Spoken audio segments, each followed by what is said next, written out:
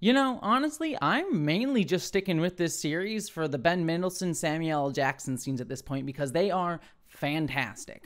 Like legit, this has the potential to be the best bromance in the MCU, and I am I, that that's saying something because there are a lot of bromances in the MCU.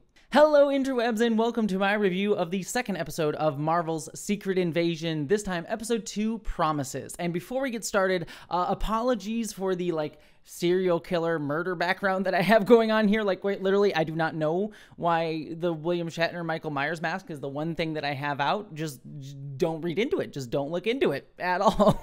but anyways, as I mentioned last week, I have been moving uh, the past few days, so my body is very, very sore from moving boxes, and my brain is dead from having to deal with all the logistics of the move. Uh, so you might get a little bit of a manic Jessie for uh, for this video, but that'll part part of be part of the fun. So just, stick with me and the slightly lo-fi look for this review um, as I as I transition into a new phase of my life. But I'm trans, so we're good with transitions. Speaking of transitions, though, let's talk about this episode of Secret Invasion. On the whole, what I will say is I enjoyed this episode uh, a little bit more than I did the premiere, mostly because this episode slowed things down a little bit and gave us a few really excellent scenes with Samuel L. Jackson getting to do something that he's never really been able to do much of with Nick Fury, and that is just like really embody the emotionality of the character. While Nick Fury has always been fun in the Avengers movies and all his other cameos,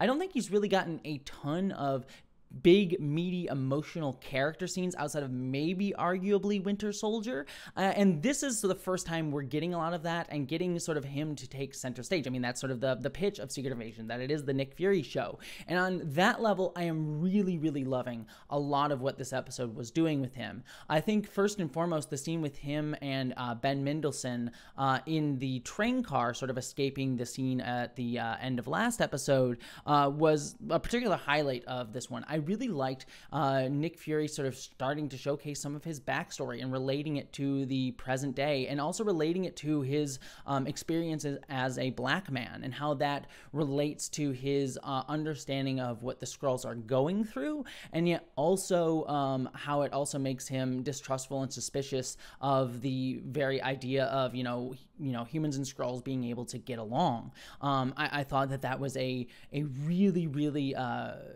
really like nuanced scene that I really really enjoyed in isolation and how he kind of like turned that around on Ben Mendelsohn's character uh, uh, Talos. I'm blanking on his name for a second, uh, and, uh, and, and sort of like used it to interrogate him a little bit, but also that scene showcasing the connection that those two still have. Like I love Talos just sort of like laughing a little bit and, and sort of in and getting enthralled in. Um, Nick Fury's story about his family. So just the push and pull between those two men, I think, is is one of the strengths of this series and one of the the, the main strengths of this show uh, so far. Uh, and that scene is also sort of uh, reiterated later on when we have the Rhodey and Nick Fury scene, where we have these two uh, men relating to each other as black men uh, and talking about their history and their relationship to power dynamics and systems dynamics that that might have you know pushed them to uh, the side as black men having grown up in America, um, and how that might also relate to the Skrulls situation as well. Um, and, and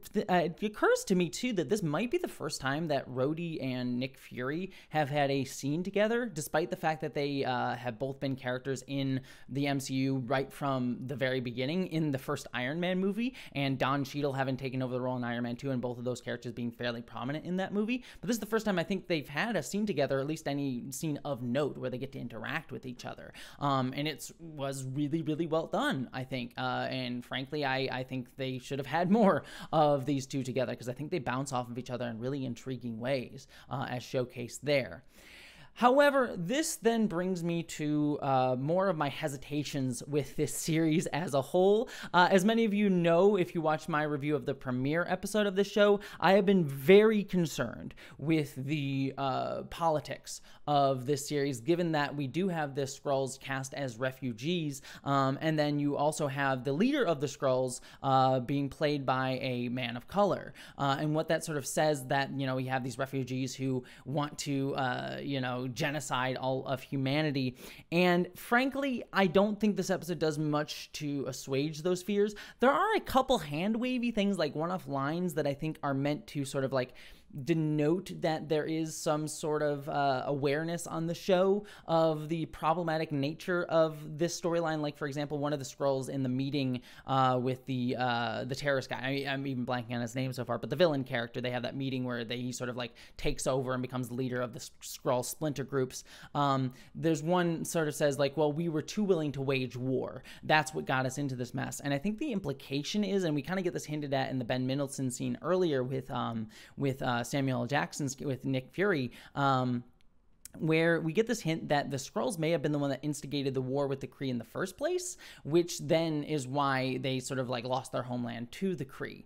And ah, I think that's meant to sort of like like give more agency to the Skrulls in this situation, but I think that just honestly makes the implication a hell of a lot worse because then it's sort of saying like well maybe they are inherently aggressive or even beyond that like they are are uh, kind of like trying to make it so like like they deserve the fact that they're being hunted down and i know that's not a statement on the show saying like every Skrull is like this but it is sort of a way that the show is trying to get at like oh maybe it's okay that we villainize this specific group of Skrulls and we don't get a ton of analysis of their grievances. I'm hoping that the show will go into greater depth uh, with the bad guys uh, like opinions and, and thoughts in a way that isn't just wholly villainizing because we get a little hints of it in opening uh, flashback sequence at the start of the episode where we meet this character as a kid and we get the implication that Nick Fury, despite his reservations, used this kid as like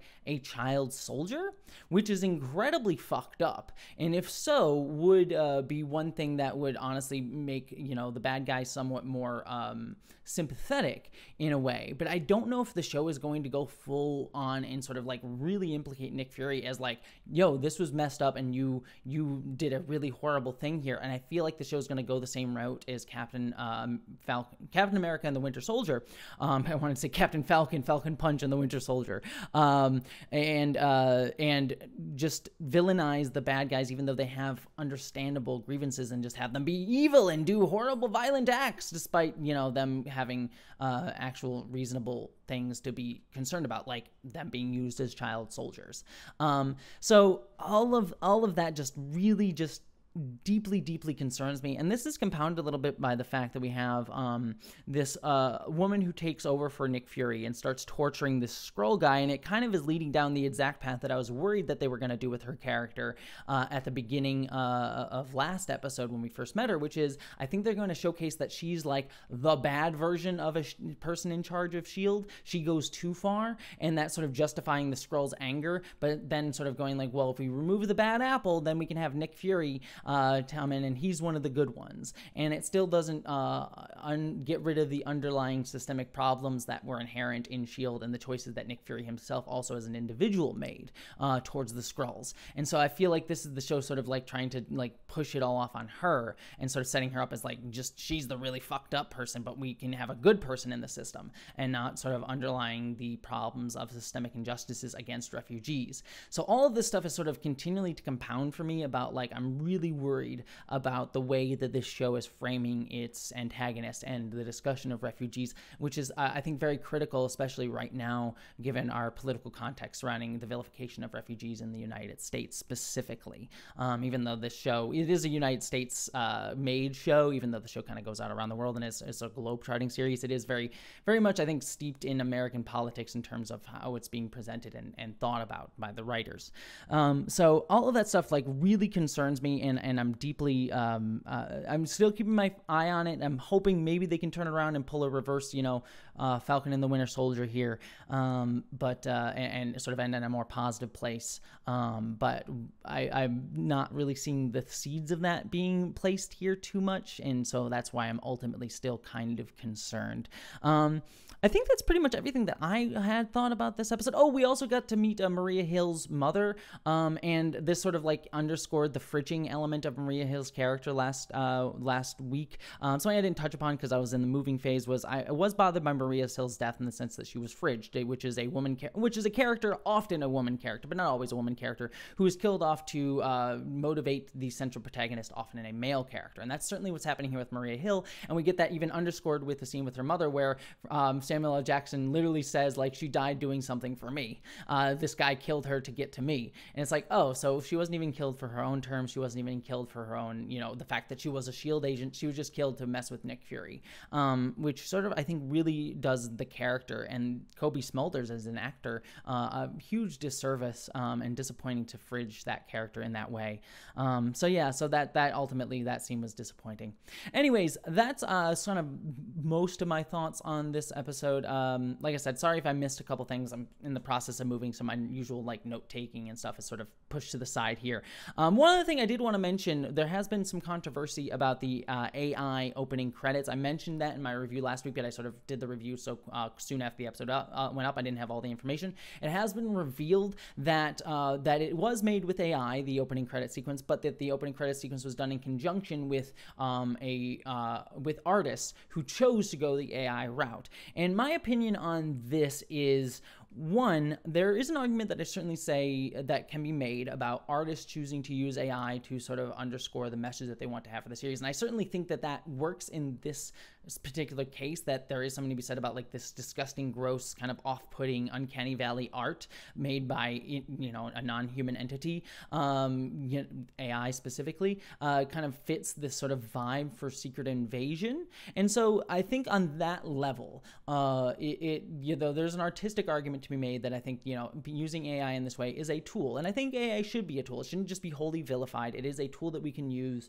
to do certain things. Um, and as long as, you know, the tool isn't being used to, you know, shove out paying human beings, pay artists, you know, not being used by a corporation to sort of say like, oh, we don't want to pay, you know, certain people. We just want, we'll use AI to just sort of make it cheaper. Um, if that's not the impetus, I, I can get behind that to a degree. But that being said, I still think it is in poor taste given the ongoing discussion right now, uh, specifically around the WGA writer's strike, but I think just generally uh, around our culture about how big corporations like Disney are using AI to uh, to do exactly what I just said, to shove out artists, shove out human beings, to try and make things cheaper, to make an extra buck, and removing the humanity, the artistry behind these things. Um, and so while this specific case, I think is, there's an argument that can be made for the artistry of it, I think given the context that we are in right now, specifically specifically around the WGA strike and writers fighting to be uh, not to be replaced by AI, and that being a main sticking point of that. I think it is in bad taste,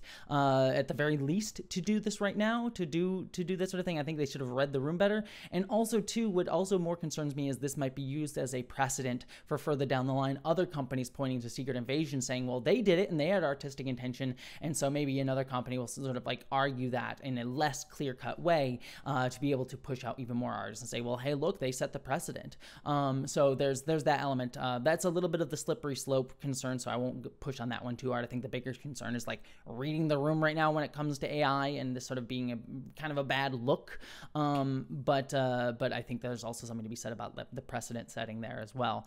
Um, but I think uh, you know, like I said, I, I, it's not the worst use of it by any means, and I'm glad that an artist was paid uh, to make this opening credit sequence. Um, that there was intent behind it, um, but it still still leaves a slight bad taste in my mouth, especially given the larger political context of the series that are also leaving a bad taste in my mouth so far. So yeah, um, like uh, basically to wrap out i i am liking the character interactions with nick fury. I'm liking the sort of like stuff it does on an individual level uh, throughout the series so far but on a larger sort of macro level um, I just this series is is kind of like uh, just rubbing me the wrong way. Let's let's say at this point, and I'm willing to give it the grace of the next four episodes to see where it goes with it. Um, but uh, but at this point, I'm I'm not particularly enthused.